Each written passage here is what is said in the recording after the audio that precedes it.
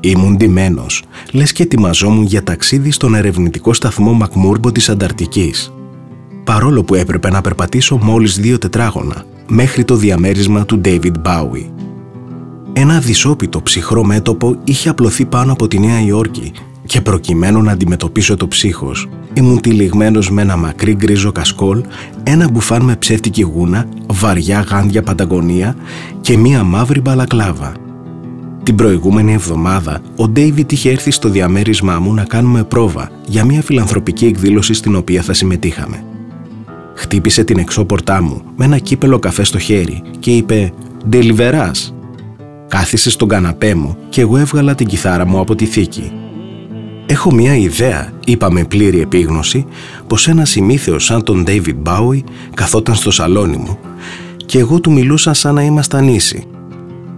Πώς θα σου φαινόταν να παίξουμε στην εκδήλωση το Heroes σε ακουστική κιθάρα; Χαμογέλασε καλοσυνάτα και μου είπε «Αμέ, ας το δοκιμάσουμε».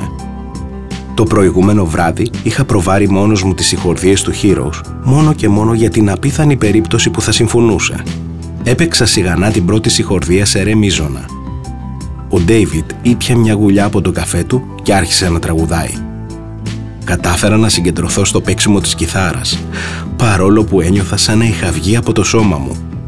Ο David Bowie βρισκόταν στο σαλόνι μου, καθισμένος στον καναπέ μου και τραγουδούσε το πιο όμορφο τραγούδι που γράφτηκε ποτέ. Στη δεύτερη στροφή η φωνή του υψώθηκε σε απίστευτα επίπεδα και εγώ έπρεπε να θυμίσω στη μικρή, αλκοολική καρδιά μου να συνεχίσει να χτυπάει. Αφού ολοκληρώσαμε τη μισάωρη πρόβα μας και τελειώσαμε τους καφέδες μας, ο Ντέιβιτ ανέφερε πως την επόμενη εβδομάδα θα έρχονταν για δείπνο στο διαμέρισμά του ο Λου Ριντ και η Λόρι Άντρεσον. Χαμογέλασε και μου είπε πως θα ήταν μεγάλη του χαρά να παραβρεθώ κι εγώ. Μάλιστα η Μαν και εγώ μπορούμε να σου φτιάξουμε κάτι vegan, πρόσθεσε. Τις πρώτες φορές που είχα πάει στο κτίριο του David, πάντοτε έμπαινα υπό το καχύποπτο βλέμμα ενός γεροδεμένου πορτιέρι. Τώρα όμως ο πορτιέρης απλώς με κοίταξε και είπε «Μπορείτε να πάτε πάνω». Μπήκα στο ασανσέρ για να ανέβω στον 8ο όροφο και άρχισα να βγάζω τη χειμωνιάτικη ενδυμασία μου. Το ασανσέρ άνοιξε Έστριψα δεξιά και βρέθηκα μπροστά στην εξώπορτα του Ντέιβιτ και της Ιμάν. Είχα πάει στο διαμέρισμά τους σχεδόν 20 φορές, όμως κάθε φορά που στεκόμουν εκεί, έτοιμος να χτυπήσω την πόρτα, πάγωνα. Αυτό που δεν κατάφερνα ποτέ να χωνέψω ήταν πως κάθε φορά που έμπαινα στο διαμέρισμα επισκεπτόμουν τον David Bowie ως φίλος, ως ίσος. Εντάξει, το ίσος ακούγεται μάλλον εξωφρενικό. Ο David Bowie ήταν ο μεγαλύτερος μουσικός του 20ου αιώνα, ενώ εγώ ένας έκφυλος καράφλας που κατά σύμπτωση ένας δίσκος του είχε γίνει επιτυχία. Εκείνος ήταν ημίθεος, εγώ απλά κολόφαρθος. Χτύπησα την πόρτα και άκουσα βήματα από μέσα. Η πόρτα άνοιξε και να. Στεκόταν εκεί αυτοπροσώπος, ο David Bowie. Φορούσε άνετο γκρίζο παντελόνι, μαύρο κοντομάνικο μπλουζάκι και μύριζε ακριβώς σαπούνι. «Κοίτα εδώ πράγμα», είπε βλέποντας τον μπουφάν, τα γάντια, το κασκόλ και την μπαλακλάβα. «Σκοπεύεις να πας στον Καναδά αργότερα». «Μισό το κρύο», είπα καθώς έμπαινα μέσα. «Έλα, δώσε μου τα πράγματά σου». Τοποθέτησε το χειμωνιάτικο εξοπλισμό μου στην τουλάπα της εισόδου και περπατήσαμε ως την κουζίνα, όπου η Μαν μαγείρευε και μιλούσε με τη Λόρι Άντερσον. «Μούμπι», είπε η Μαν και με αγκάλιασε. Έμοιαζε με λαξευτή βασίλισσα, ψηλή, απαστράπτουσα και με εκπληκτική κορμοστασιά. Ήταν όμως πάντα απρόσμενα προσγειωμένη, καλοσυνάτη και είχε άποψη.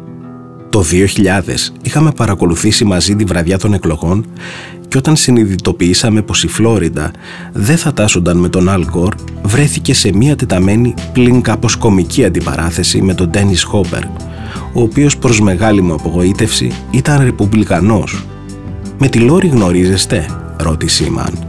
«Ναι, γεια σου Λόρι», είπα και της έδωσα ένα ευγενικό φιλί στο μάγουλο. Τη Λόρι τη συναντούσα συχνά σε φιλανθρωπικές εκδηλώσεις ή εγκαίνια εκθέσεων και κάτω από εκείνα τα αγκαθωτά αλά Τζόνι Ρότεν μαλλιά είχε πάντα μία ιδιάθετη σκανταλιάρικη έκφραση. «Και με το Λου» ρώτησε πάλι η Μαν. Ο Λου Ριντ φορούσε αστραφτερό μεταλλιζέ σακάκι, κρατούσε ένα ποτό και χάζευε τα βιβλία του Ντέιβιτ και της Σιμάν. «Γεια σου Λου», είπα. Εκείνος μου έκανε μια ζεστή παρατεταμένη αγκαλιά. Καθότι έδειχνε να μισεί τον περισσότερο κόσμο, πάντα πίστευα πως ο Λου θα μισούσε και εμένα. Κι όμως για κάποιον ανεξήγητο λόγο, εμένα φαινόταν να με συμπαθεί. «Μόμπι, πώς είσαι» είπε με εκείνη τη χαρακτηριστική φωνή που είχα ακούσει στο Heroin, στο Pale Blue Eyes και σε αναρρύθμιτα ακόμα θρηλυκά τραγούδια. «Καλά είμαι». Έκανα μια μήχανη παύση, συνειδητοποιώντας ότι περιστοιχιζόμουν από εξωγήινους θεούς. Άθελά του, το μυαλό μου είχε διχαστεί. Ένα κομμάτι του έκανε μια ήρεμη, ευχάριστη συζήτηση με μερικούς φίλους, περιμένοντας να ετοιμαστεί το δείπνο. Ένα άλλο κομμάτι ούρλιαζε. Ο Λου Ριντ και ο Ντέιβιντ Μπάουι ξέρουν που μένω. Έχουν έρθει στο σπίτι μου. Διάολε. Ο κόσμος έχει έρθει τα πάνω κάτω. «Α, Μομπί», είπε ο Ντέιβιντ.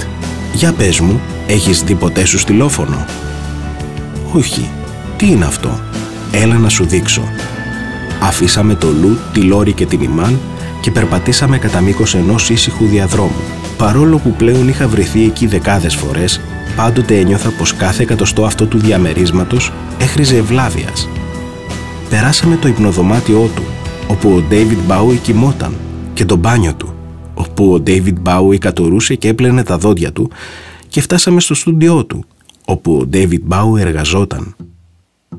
Το στούντιο ήταν διακριτικό, περισσότερο σαν ξενώνας που περιλάβανε και κάποιον εξοπλισμό παρά κάποιο τεράστιο, περίτεχνο μέρος φτιαγμένο αποκλειστικά για να ηχογραφεί μουσική. «Είμαι στα τελειώματα του νέου δίσκου», μου εξήγησε, και σήμερα ηχογράφησε ένα κομμάτι με στυλόφωνο για ένα τραγούδι αφιερωμένο στον Ίγκη. Ο Ντέιβιτ μου έδωσε ένα μικρό χαρτονένιο κουτί. Εγώ το άνοιξα και από μέσα έβγαλα το μικρότερο synthesizer του κόσμου. «Παίζεται με στυλό», είπε με ένα πλατή χαμόγελο. «Ίσως είναι το καλύτερο μουσικό όργανο που εφευρέθηκε ποτέ». Το άναψα και έσυρα τη μεταλλική γραφίδα πάνω στα πλήκτρα. Ο ήχος που έβγαζε ακουγόταν σπαστός, τραχής κι όμως απρόσμενα όμορφος. «Μπορείς να τα βρεις στο eBay. Έχω αγοράσει κάμποσα», είπε ο Ντέιβιτ. «Μπορώ να ακούσω το τραγούδι» ρώτησα. «Δεν το έχω μιξάρει ακόμα». «Δεν πειράζει».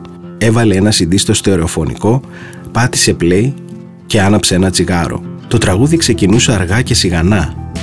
«Λέγεται Sleep Away», είπε ο Ντέιβιτ καθώς κάπνιζε. Καθώς προχωρούσε το τραγούδι, έπιασα μερικές αναφορές στο Uncle Floyd Show, μια αλόκοτη παιδική εκπομπή που παρακολουθούσα στις αρχές της δεκαετίας του 80. Το τραγούδι σταδιακά αποκτούσε ένταση, όλο και περισσότερη ένταση. Ήταν όμορφο και ευάλωτο και γεμάτο λαχτάρα.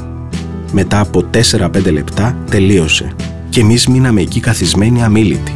Ο Ντέιβιτ κάπνιζε και εγώ αναρωτιόμουν αν επιτρεπόταν να μιλήσω διαχειτικά, σαν αληθινός φαν. «Είναι όμορφο, Ντέιβιτ», είπα με απόλυτη ειλικρίνεια. «Σε ευχαριστώ». «Όχι, το εννοώ», και επίσης μου άρεσαν πολλοί αναφορές στο Uncle Floyd. Κάποτε ο Ίγκη και εγώ μαστουρώναμε και βλέπαμε Uncle Floyd και καταλήγαμε να κυλιόμαστε στο πάτωμα από τα γέλια. Ήταν το αγαπημένο μας. Είναι πολύ όμορφο τραγούδι. Σε ευχαριστώ που έβαλες να τα ακούσω. Έσβησε το τσιγάρο του σε ένα τασάκι. Πάμε να δούμε τι γίνεται με το φαγητό. Το τραγούδι με είχε συγκλονίσει. Δεν ήταν ηρωνικό ούτε cool. Δεν είχε χορευτικές επιρροές δεν ήταν καν ιδιαίτερα μοντέρνο. Ήταν όμως ένα από τα πιο όμορφα και ευάλωτα τραγούδια του David Bowie που είχα ακούσει ποτέ. Στη διάρκεια του δείπνου κουβεντιάζαμε αδιάκοπα, εκτός από το Λου που έδειχνε να αρκείται στο φαγητό του και στη βότκα με σόδα που έπινε. Μιλήσαμε για τον πόλεμο στο Ιράκ, για την απέχθεια και την περιφροσύνη μας απέναντι στους Ρεπουμπλικανούς, για νέες ταινίες, για το κρύο, για τους νέους μας δίσκους, για όλα. Το vegan φαγητό μου ήταν μέτριο, αλλά δεν με ένοιαζε. Εκείνο το βράδυ διπνούσα μαζί με θεούς και θεές στην κορυφή του Ολύμπου. Μετά το δείπνο, καθίσαμε στη βιβλιοθήκη, όπου ο Ντέιβιτ μας είπε για ένα νησί ονόματι Μιστίκ και έναν άντρα που είχε φτιάξει εκεί ένα μεγάλο θέρετρο, αλλά μετά του απογορεύτηκε η πρόσβαση στο νησί. Δεν είχα ξαναδεί ποτέ τον Ντέιβιτ τόσο χαρούμενο και χαλαρό. Η Λόρι, η Μαν και εγώ χαμογελούσαμε και γελάγαμε. Όμως ο Λου είχε αποκοιμηθεί στον καναπέ. Η Λόρι άπλωσε το χέρι της και πήρε με προσοχή το ποτό από το χέρι του, διασφαλίζοντας έτσι ότι δεν θα το έχινε πάνω του. Η ταινία τελείωσε και ο Λου πετάχτηκε από τον ύπνο σαστισμένος. Μετά όμως θυμήθηκε που βρισκόταν. «Τι ώρα είναι» ρώτησε. «Έντεκα» είπα εγώ. «Μήπως είναι ώρα να πηγαίνουμε» Περπατήσαμε όλοι μαζί ως την εξώπορτα. Εγώ τυλίχτηκα σαν μούμια με το χειμερινό εξοπλισμό μου, ενώ ο Λου και η Λόρι φόρεσαν τα πανοφόρια τους, όχι τόσο ζεστά όσο το δικό μου, αλλά πολύ πιο στυλάτα. «Ευχαριστώ για την υπέροχη βραδιά», είπα στην Ιμάν και έπειτα την αγκάλιασα και της έδωσα ένα φιλί στο μάγουλο. «Α, περίμενε μισό λεπτό», είπε ο Ντέιβιτ και έτρεξε πίσω στο διαμέρισμα. Όταν επέστρεψε, κρατούσε ένα στυλόφωνο. «Δικό σου», είπε καθώς μου έτεινε ένα ξεθοριασμένο ροζ κουτί διακοσμημένο με καρτουνίστικες φιγούρες hipster του 60 να χορεύουν υπό τους ήχους ενός synthesizer. «Είσαι σίγουρος» αγόρασα πέντε από δάφτα στο eBay είπε και έβαλε το ροζ χαρτονένιο κουτί στα χέρια μου. «Εσύ είσαι ο βασιλιάς της δίσκο, οπότε αυτό σου ανήκει». Του έκανα μία σύντομη αγκαλιά. «Σε ευχαριστώ, David, και επίσης το νέο σου τραγούδι είναι πραγματικά όμορφο». Για μια στιγμή φάνηκε να νιώθει άβολα, όμως χαμογέλασε και μου είπε «Σε ευχαριστώ, Μόπι». Ο Λου, η Λόρι και εγώ πήραμε το ασανσέρ δίχως να μιλάμε, αλλά σε φιλική ατμόσφαιρα. «Τι ωραία που ήταν», είπα τελικά εγώ. Η Λόρι χαμογέλασε. «Πράγματι». «Τι σου έδωσε» ρώτησε ο Λου. «Ένα στυλόφωνο. Είναι ένας περίεργος παλιός τύπος synthesizer. Το έτεινα προς το μέρος του. Εκείνος πήρε το κουτί και το μελέτησε με προσοχή καθώς διασχίζαμε το λόμπι. Στο eBay δεν ήταν παρά ένα απαρχαιωμένο μπιχλιμπίδι, ένα τεχνούργημα που μπορούσε κανείς να αγοράσει με λιγότερο από 50 δολάρια. Στα χέρια του David Bowie όμως ήταν ένα μουσικό όργανο ικανό για ομορφιά που ράγεζε την καρδιά. Ο Λου το έβγαλε από το κουτί του και εγώ το άναψα, ενώ η Λόρη και ο Πορτιέρης παρακολουθούσαν. Το στυλόφωνο έκανε το χαρακτηριστικό ψηλό του ήχο. Ο Λου σήκωσε τα μάτια και με κοίταξε. Έπειτα ξανακοίταξε το στυλόφωνο. Έσυρε τη γραφίδα πάνω στα μικροσκοπικά πλήκτρα και στο άκουσμα της παστής μουσικής χαμογέλασε.